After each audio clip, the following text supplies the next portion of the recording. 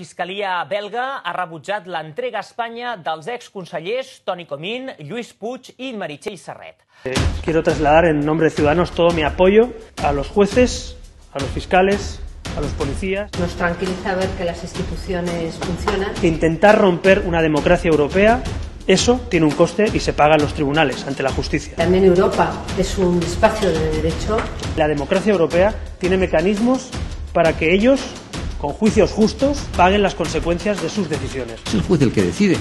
Es el juez el que decide en España es el juez el que, el que decide fuera. Y el gobierno español es respetuoso, carta siempre lo que dicen los jueces. No procede quejarse ahora ni presentarse como víctima de una situación que ellos han sido los que conociéndola la han buscado y la aceptaron.